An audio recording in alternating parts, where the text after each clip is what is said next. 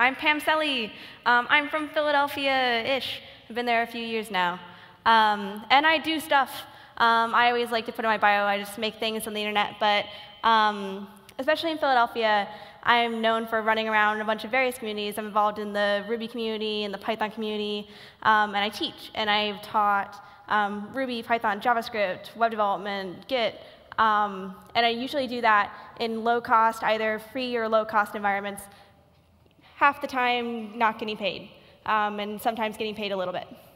Um, so what I want to talk about today is some of the existing education programs that are in other communities that I think the JavaScript community really needs to learn from. Um, why particularly the JavaScript community has a very special problem that we need to use education as a solution, and how we can, um, how we have in Philadelphia, used education in our community. So who's been teaching? Um, so have any of you guys heard of some of these initiatives before? I hope, yeah, I hoped most of you, because they're really great things. Um, I've taught for a few of them. Um, but my favorite, personal favorite, biased, I love the Boston Python Workshop. Because the Boston Python Workshop is based in a user group. And they have these really great results from the particular way that they do things. The other ones actually, so Rails Girls, Rails Bridge, um, PyStar, uh, and actually the Boston Python Workshop also follows the two-day format, where you have one day where people get ready, the next day where there's a workshop, that kind of format. Um, but Boston Python Workshop is attached particularly to a user group. So that's what we do in Philadelphia in the Philadelphia Python user group. Um, and so Boston Python, when they started the workshop, they had zero representation of women. They increased it to 15%. Um, lots of alumni, insane growth. Um, and if you want to learn more about it, they did a great talk last year at PyCon um, about a lot of lessons learned and a lot more details about how exactly they did it.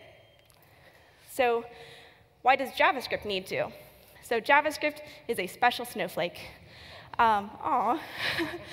so JavaScript has the unique and totally awesome and problematic thing where anyone who does anything on the internet really should probably know JavaScript, or they try to or act like they do. Um, so it's number one language in the world. And so we have this unique kind of thing where we have all these people who have dabbled in a little bit of JavaScript, and they've picked up enough enough to do what they need to do, but they really don't have a deep understanding or even a shallow understanding of a lot of the fundamentals. So when we talk about teaching JavaScript to people, we have a unique thing that happens is if I'm teaching Python to a beginner, they, chances are pretty high that they will have zero programming experience if they're coming to an Intro to Python workshop.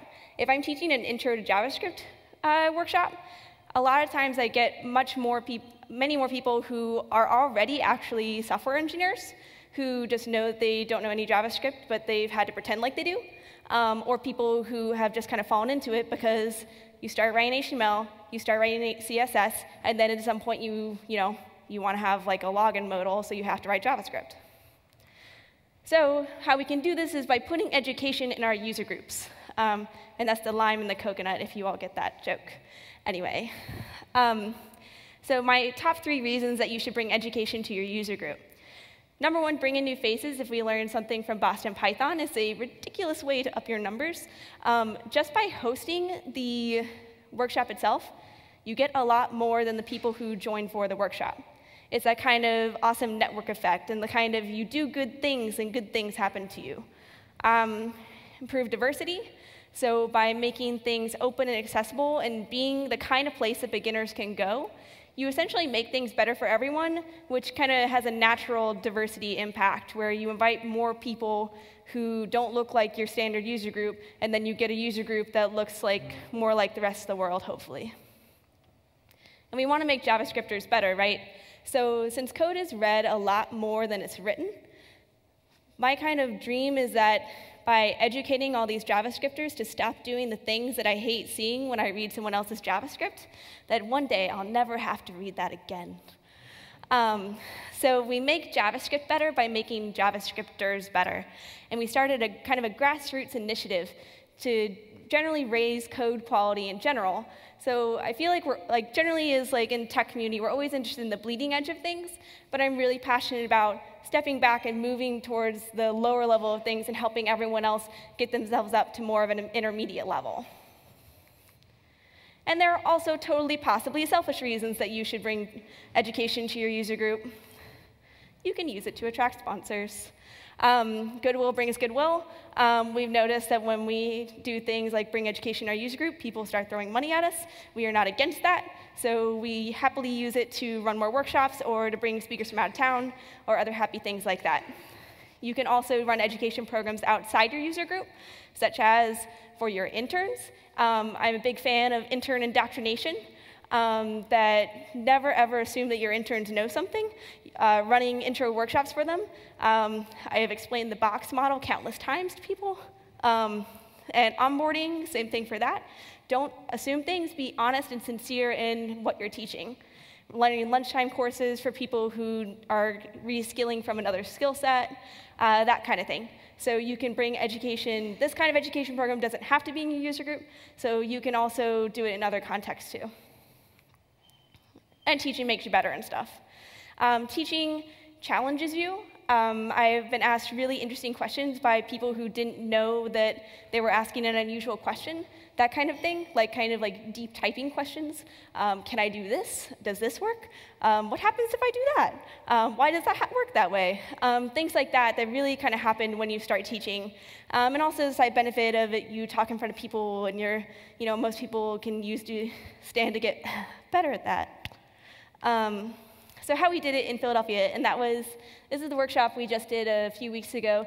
It was in a church. Isn't that cool? Um, so it's actually um, an SEO firm that uh, redid a church in Philly, and so they have the Search Church upstairs that they let um, us and other groups use for events sometimes. So we had our workshop in the sanctuary. So, so how are kind of how to do run a workshop? So running through these. So promote from within. So while, yes, it can bring in new members, remember that the other goal is to make everyone better. Um, we have a lot of members of our user group who identify as beginners or they identify as people who are retooling. And so making sure you invite them first and that they, you tell them that they're priority attendees because you, the reason is because you want them to get more out of your user group so that say they can understand more of the talks and they're more interesting to them because they're more relevant to them. Um, so promoting from within is a really key point. Advertise your curriculum. Number one part of that is advertise. Um, I've never had a problem with selling out workshops of any kind, um, but I also have been told that I'm very good at getting the word out about things. Um, by putting out your curriculum and saying what you're going to cover, especially in JavaScript, so that people know that you aren't going to talk about Java, um, is generally a good idea. Um, so we advertise with our curriculum available um, at least the syllabus of sorts. Bring a friend strategy. Um, we really like this to help that kind of like spreading the network effect so that we say, hey, members of the user group, if you aren't interested in, if, you know, we're doing this workshop thing and you're totally awesome at JavaScript, but I bet you know someone at work who totally isn't, you totally shouldn't say that to them, but you should totally invite them to this workshop. And you should say, I'll, you know, volunteer. So this is how you also get people who are the great JavaScripters in your user group already. You leverage them as mentors and coaches. My favorite ratio is one mentor coach to five students.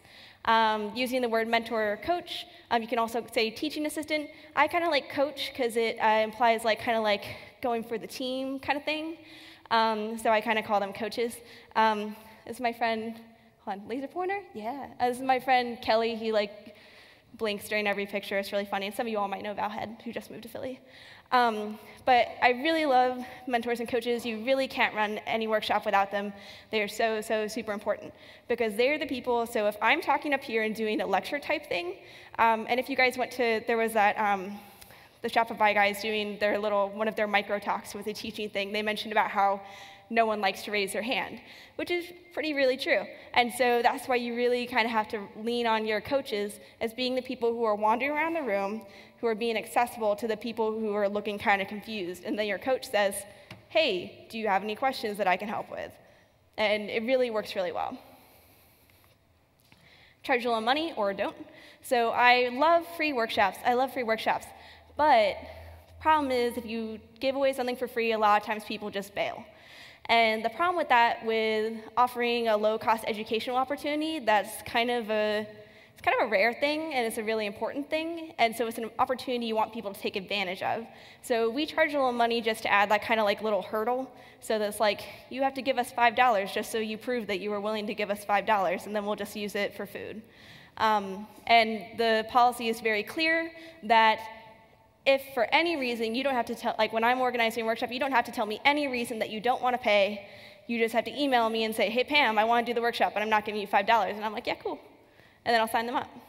Um, so we personally, in the Philadelphia JavaScript developers group, we charge a little money just to provide that hurdle, but also provide a path so that if for whatever reason it's a hardship, it doesn't matter to me why, just providing a way for them to get into the workshop. Set clear expectations on all sides. Make sure your students know what they're getting into. Make sure they know they aren't going to a Java course. Um, and also that makes sure that you let people know if, if you do want to go into some more advanced topics, that you don't get people who are overwhelmed, so you make sure that they're pointed toward the more beginner side. And you also do this kind of expectations deal for your coaches. Um, so making sure, for one, that your coaches are skilled enough that they'll be able to answer student questions. Because um, I have had people um, in other workshops try and sneak into workshops by volunteering as a coach, and this is really not very good because then they actually can't help um, because they really should be a student. Um, it's great that they love our workshop so much that they want to like sneak in, but um, not really awesome for us on the organizer side. Um, but for the coaches, also setting clear expectations. Like um, I always do a little spiel about the rules of being a coach, like never touch someone else's computer without asking. So you respect people's space, things like that. And just making sure that your coaches are on board with what's going to happen so that they understand what's expected of them numbers from this past workshop that we just ran.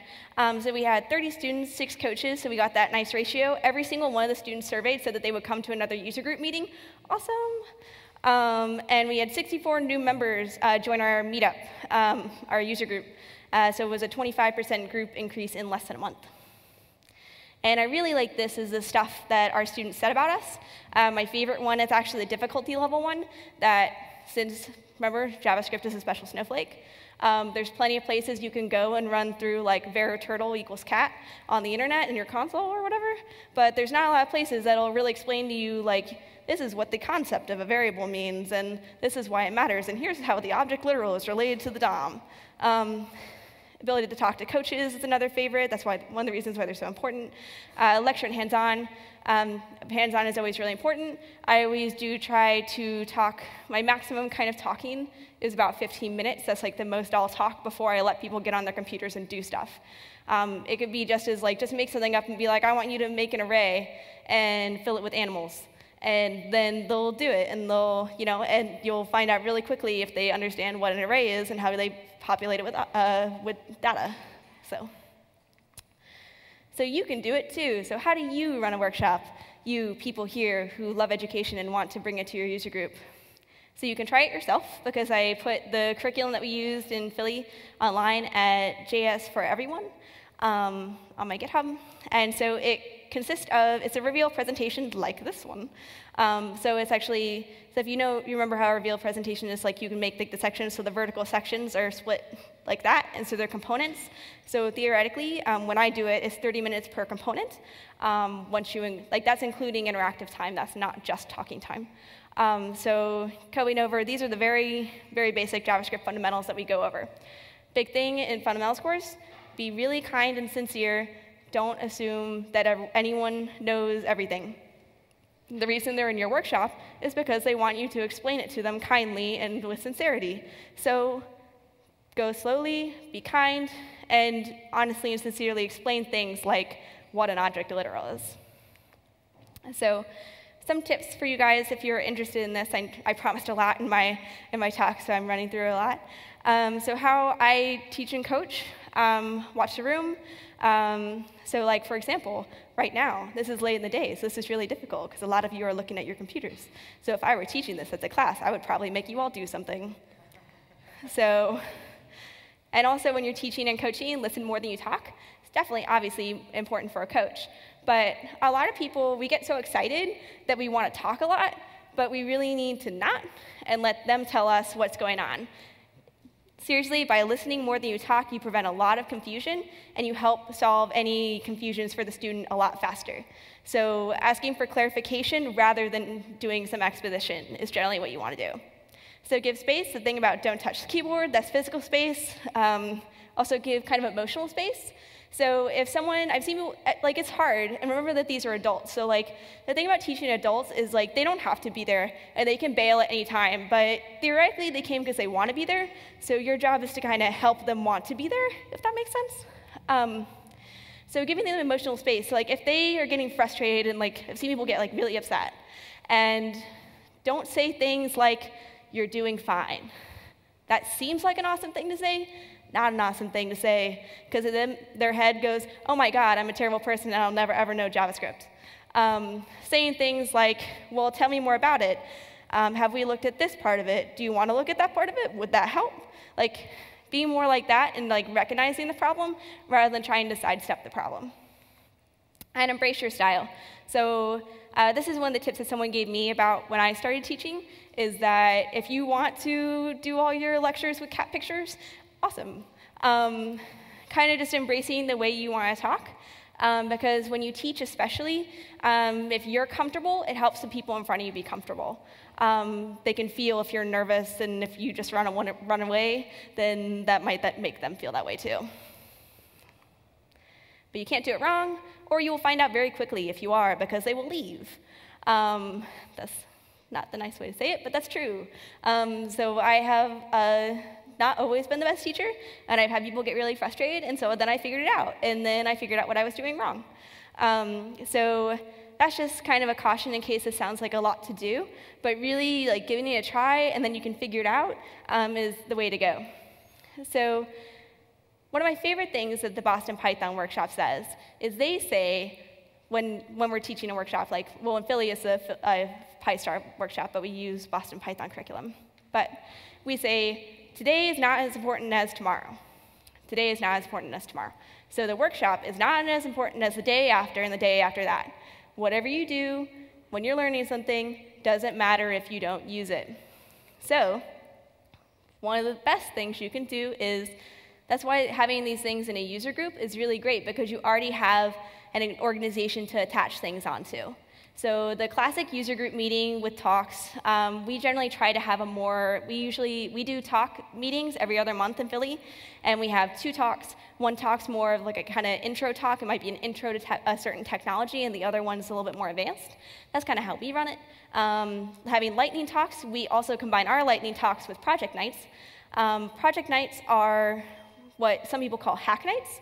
We call them project nights because they make them more accessible to everyone. A lot of people have, who are new to development especially, don't really understand the idea of a hacker.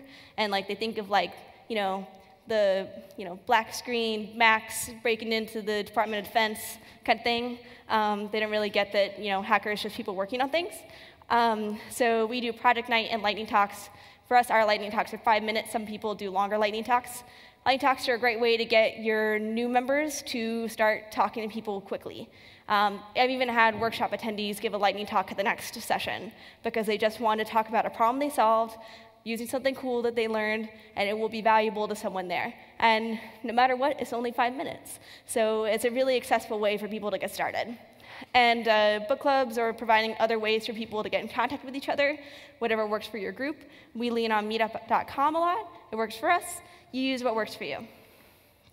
So, summary is put your education into your user group, because by doing that, hopefully we can make a better community in order to make a better JavaScript, making better JavaScripters, and bring the joy to the masses through education. Thank you. Um,